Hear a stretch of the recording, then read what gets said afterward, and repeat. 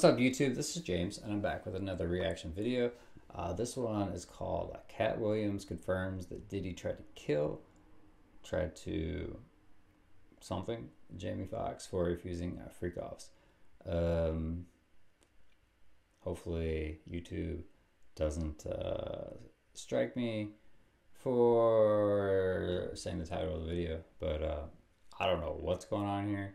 Katt Williams is on a roll. Who knows if you can believe anything he says? But uh, this is on TMZ. There's videos, I think, of something. I know Jimmy Foxx had a medical emergency a while ago. It wasn't really talked about. So we're gonna see what's going on because I have no clue what what this is about. It just came up in my algorithm. So let's peep it. Be sure to like, comment, subscribe. Let's go. So, Jamie Foxx suffered a very serious medical emergency that landed him in the hospital. Um, and we are going to describe just how serious this is. I would show up to the party in my little uh, in a little town car. There's town, you know. I grab a town car so I could skirt. Puff the SUVs and the road and the Bentleys, the whole night. He get out. I get out too with a camera.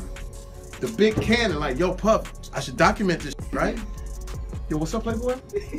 what, what, you talking about? I, said, I should get this, man. You, Fonz, the whole nine. He says, uh, yeah, let him through. Excuse me. So I get the, but at that time, it wasn't like the little camera y'all got. It was the big intrusive cannon. I had a battery pack. Hold on, man. Let me change the pack. Put my light on here. Do that again, Puff. Do that again. I missed that one. Do that again. Put the pack. So I started following him. So I followed him the whole time. I remember watching Puff at the Beverly Hills Hotel filming it.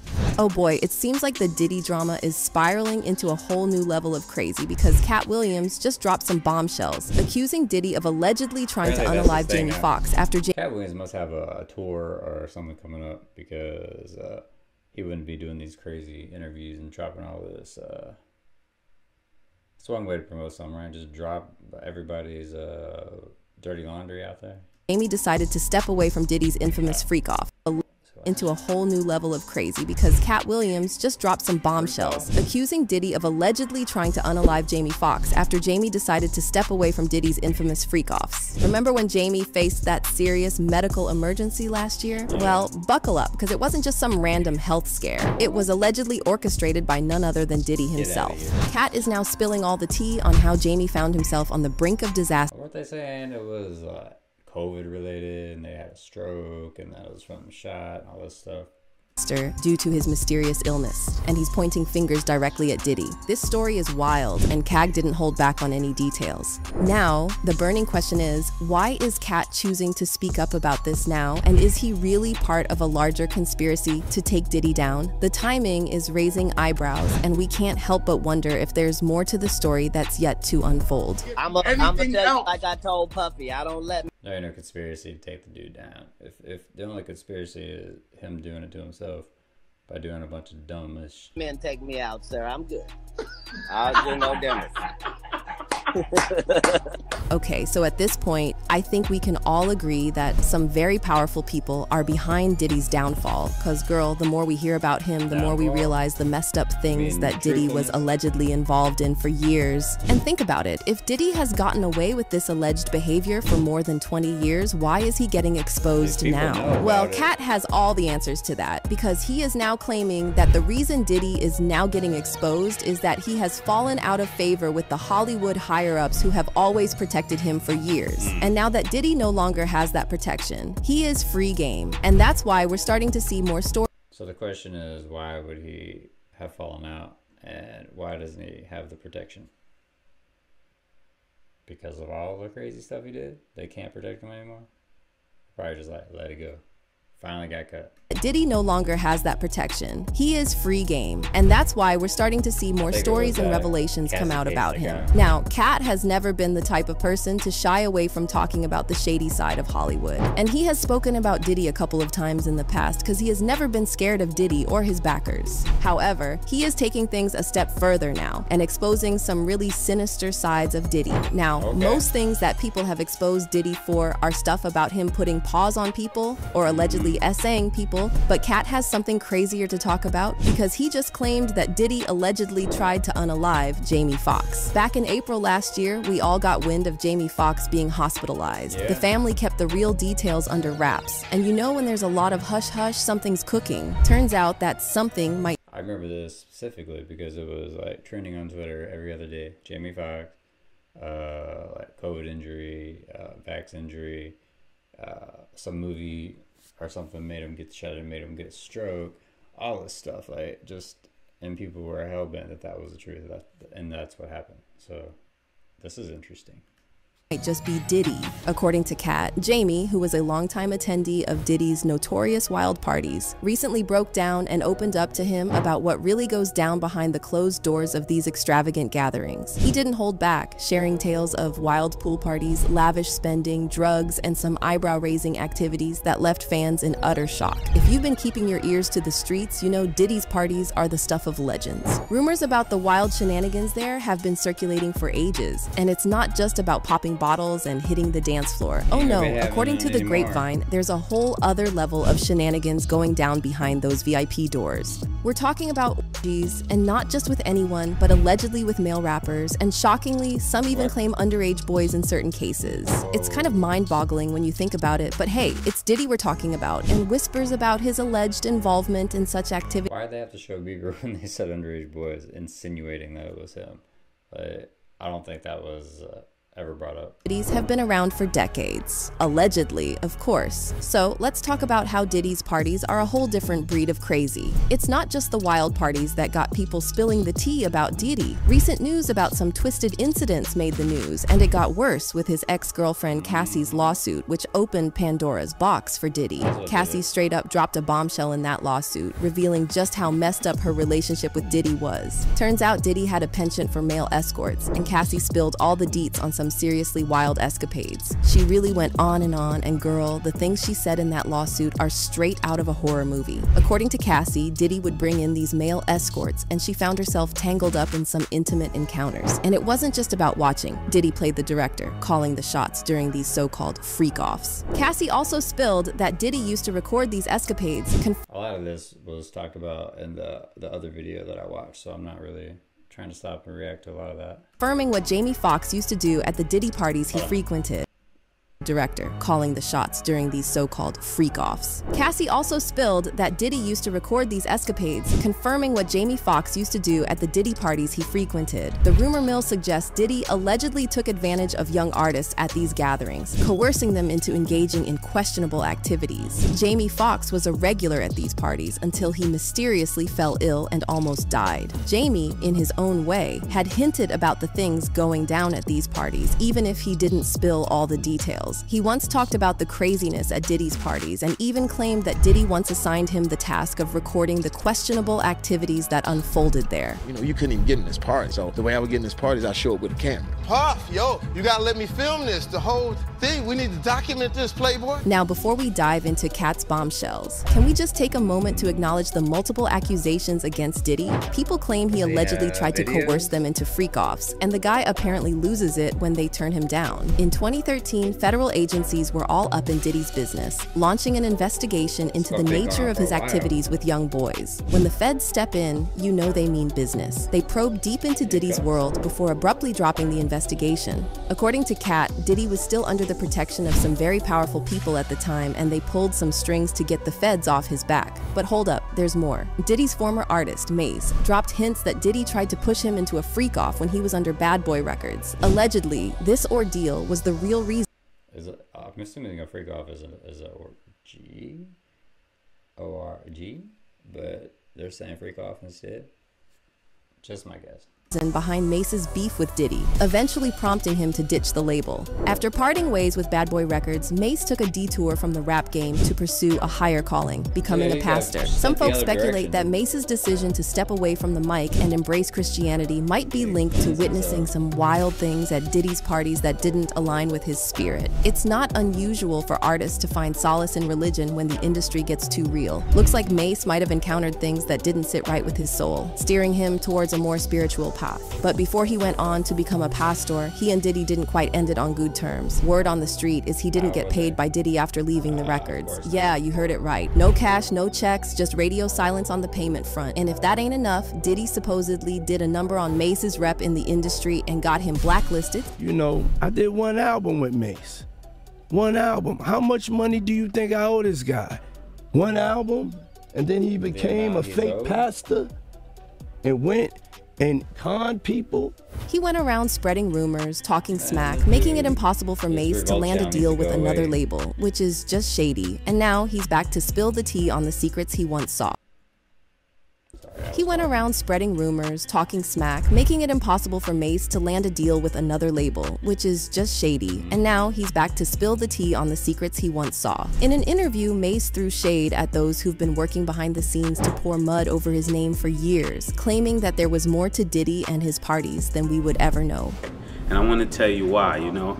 If the devil can use him aggressively, then I want you to know God could use me aggressively. When Mase dropped the bomb saying it was worse than we thought, he wasn't playing around. Rumors about Diddy's sexuality have been circulating for decades. Back in the 90s, the industry was buzzing with whispers about Diddy's preferences, and Suge Knight and Tupac Shakur were among the first to throw those questions out into the open. Suge, never one to shy away from stirring the pot, dropped some bold hints in the 90s about Diddy's preferences. At that time, Suge wasn't exactly sharing a buddy-buddy vibe with Diddy. He went on the record making statements that had people talking. Suge wasn't the type to beat around the bush. He threw shade at Diddy and spilled the real tea on what Diddy was up to behind the scenes. Let's not forget Tupac Shakur, who had an intense rivalry with Diddy. Tupac, known for his candidness, had suspicions about Diddy's sexuality and didn't hesitate to voice his concerns about Diddy being on the DL. These keep keep going. Uh, videos keep turning into uh, videos about his sexuality, which is interesting, but not that big of a deal to me. The fact that he's lying about it is, and that he's doing the weird stuff with young boys and making other dudes do stuff is, is messed up. But um, does it play? Well, I guess we'll see if it plays a big part in it. L. Whispers were floating around the industry, and Tupac, true to his nature, addressed them head on. like and what about 50 Cent? He's been on Diddy's case for as long as we can remember. 50 Cent was among the first to clock onto Diddy's secret activities, holding nothing back. He called out Diddy's sexuality, even dropping some pics that set the entire internet ablaze. One time he posted this picture of Diddy and Rick Ross that looked like they were making out and captioned it with something ain't right. Now, I'm not here to judge anyone's lifestyle, but 50 Cent has this unique talent for making us all sit up and pay attention. It's like he's the hip hop detective investigating Diddy's moves, and he has been quite relentless. For example, there's the time he said, I can no longer help you guys. Soon you will all be gay and happy. You are now left under the leadership of Puffy Daddy. Report to the nearest rainbow. He even talked about how Diddy offered to take him shopping. So yo, when we gonna get the chance to, you know, to kick it, like we can just hang out. We gotta, we gotta kick it. This is Puff. Okay. He telling me we gotta kick it. He's like, yo, why don't we like go shopping or something? I mean, like I pay for it. And I was like, what the f- this just say? In the past couple of weeks, Diddy has faced a oh, barrage of my reaction. accusations from several young Pretty men who to once looked up to him for mentorship and a shot at success in the entertainment industry. And let me tell you, these allegations are hitting Diddy hard. Among the accusers are notable young figures like rapper YK Osiris, actor Orlando Brown, and Empire star Bryshere Gray. Hmm. These guys, at some point, considered Diddy a mentor, thinking he would pave the way for their success. Little did they know Diddy wasn't handing out freebies. Bryshere Gray's introduction to Diddy happened through his manager, Charlie Mack, who helped him land his role in Empire. Bryshere had goals of becoming a rapper, so Charlie Mack connected him with Will Smith, who then linked him up with Diddy. Now, considering the rumors about Will being a frequent participant in Diddy's wild escapades, you can connect the dots. The streets are buzzing with claims that Diddy allegedly blackballed Bryshere when Bryshere grew tired. Man, say it ain't so about Will. Come on.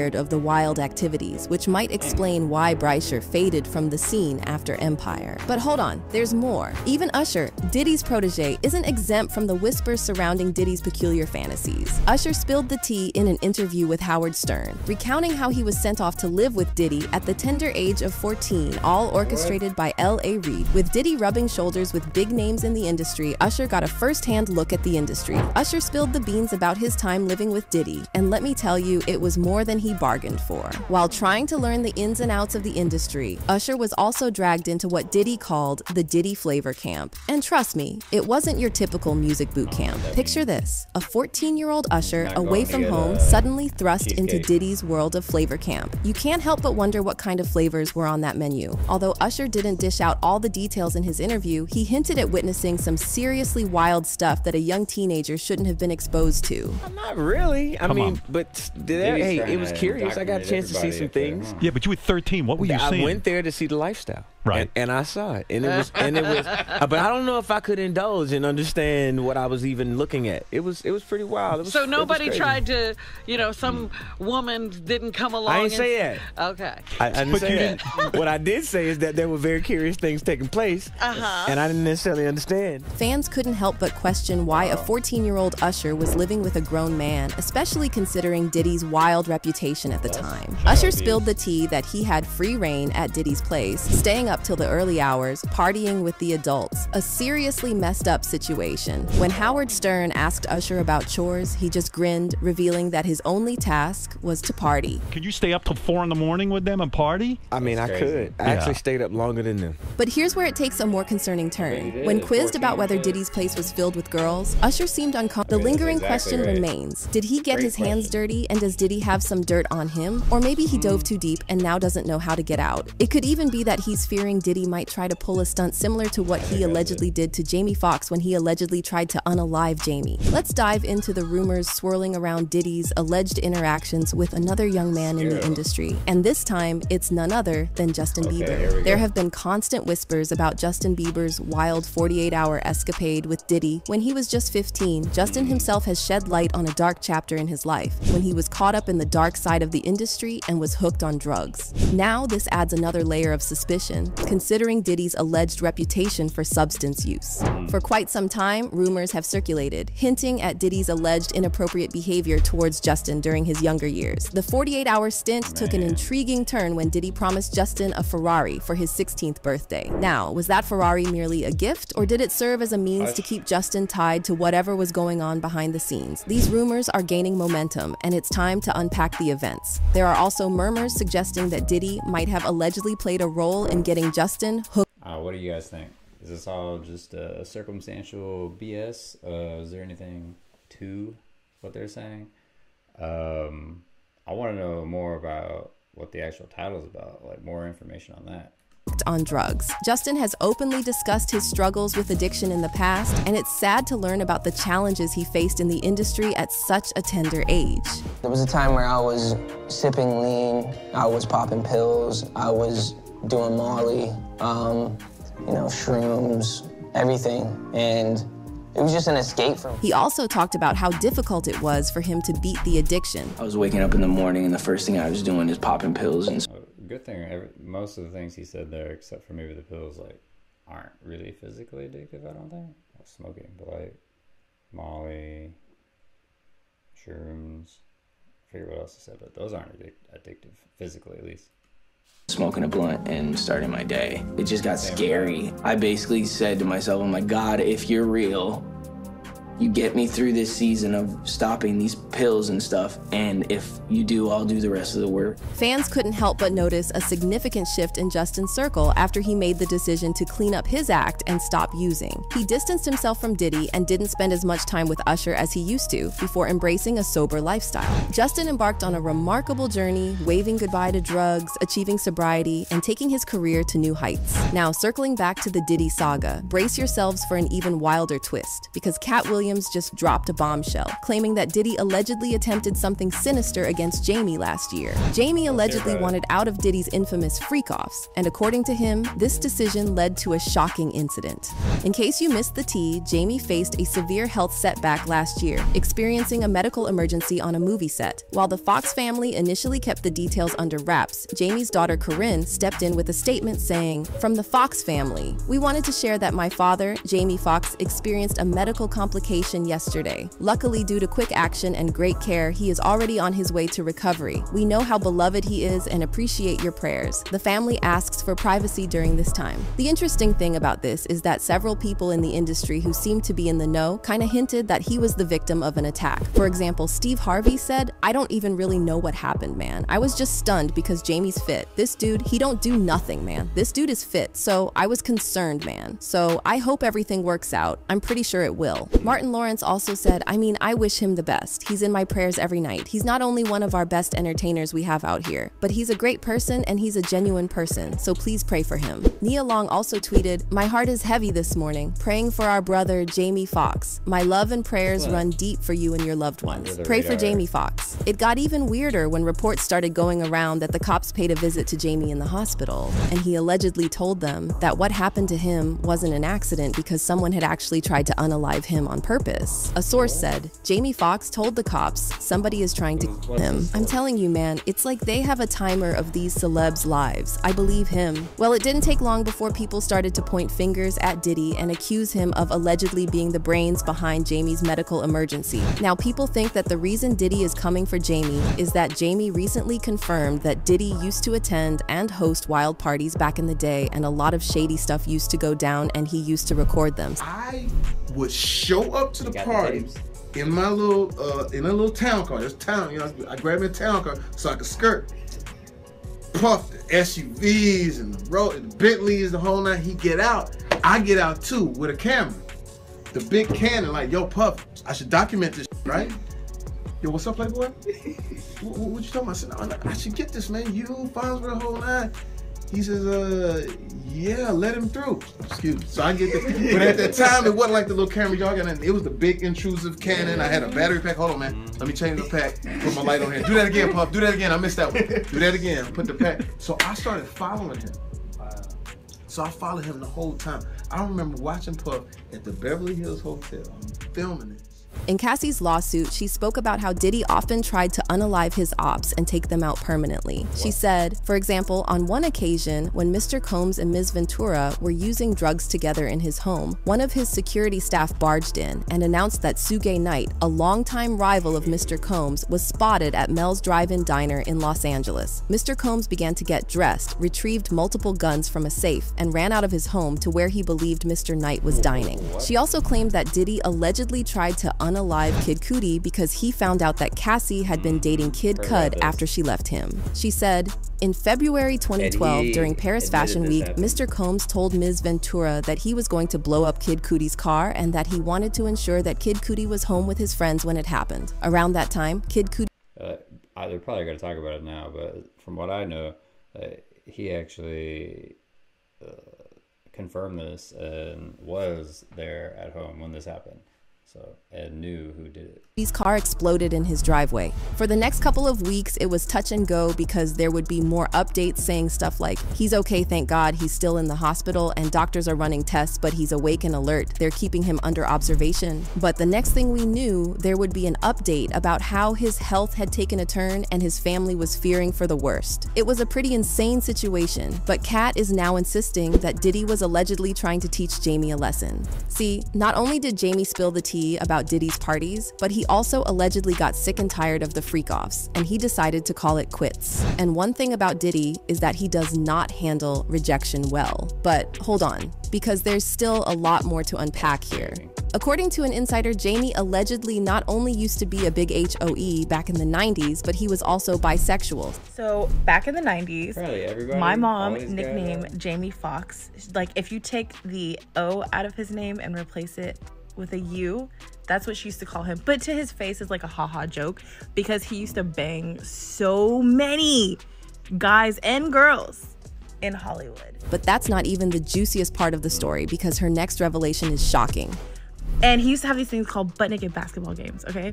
He would invite over a lot of like Hollywood's elite to his house for a basketball game, but it was men only. And they would be like, oh, we're just gonna get naked and play basketball. It's like, oh, haha, let's get naked and play basketball together, which is weird. And this happened in the 90s. Playing basketball shirtless? Now that's one thing, but stripping down entirely? Never That's just anything like that. suspicious. Let's not kid ourselves. It sounds like they were engaged in more than just a casual game of hoops. I mean, come on, it's probably a front for some adult activities of a certain nature. And what's intriguing is that one of Diddy's former bodyguards spilled the tea about him attending similar gatherings. that you was at a party before that they attended and you said the party was weird. Tell me about that. I guess that that's, That's what not a Tupac was talking about, the it? Illuminati. That's, uh. It's like Vivica Isn't Fox was with this big gay man. He was The guy six nine. They called him his name Maybe six he is, nine. uh, never mind. He had the red hair with big old booty and shit. No, he was gay and I'm over. What the f- is going on here?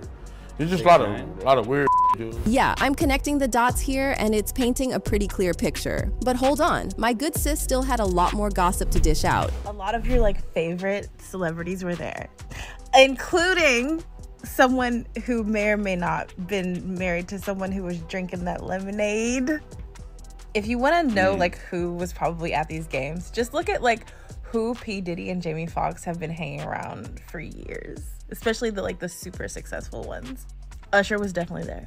Diddy wasn't about to take this double insult lying down, and according to Katt, Diddy decided to teach Jamie a lesson for meddling with him. But he didn't stop there because he dude also revealed unfair. that there was a reason Jamie's family decided to handle the situation privately. He claimed that Jamie's family might have suspected something was amiss, which is why they kept his illness on the down low. It seems like they were playing it cautiously and scared of revealing too much. You know how it is in Hollywood. It's like navigating a real life chess game, and one wrong move could turn you into the next headline. And let's not forget, if Diddy's involved as the rumors hint, nobody wants to be on the wrong side of that drama. So Not instead of risking exposure and putting Jamie in further jeopardy, they played it smart, protecting themselves while still giving us just enough Smart to keep move. the gossip mill churning. But there's more because remember how Katt said that Diddy offered him $50 million for a one night stand? I've had to turn down $50 million four times.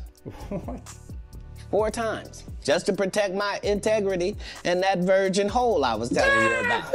right. Uh, because P. Diddy be wanting the body. And you gotta tell him no. You got to tell him no. I, I did.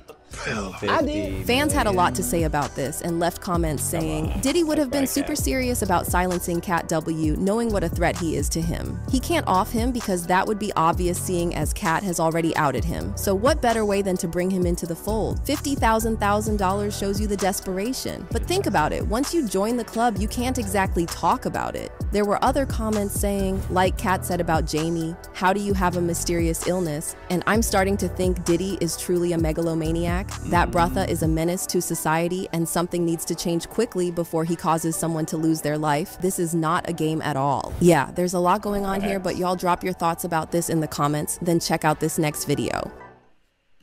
So All right, so that was Katt Williams confirms that Diddy tried to off Jamie Foxx for refusing freak offs. Um, wow, so much information overload that just hit my head right there. Don't know if any of it's true, but a lot of the stuff that was laid out seems pretty damning, and it happens to be laid out over and over and over again. Uh, you can check out the other video I did about uh, the whole Diddy situation as well. Um, it's just insane the fact that the like he's still running around free out there. I, like, even if he is innocent, I think there's enough uh, evidence to uh, charge him with something and figure it out uh, for sure. But uh, let me know what you think. Uh, like, comment, subscribe, hit the notification bell. And until next time, guys, deuces.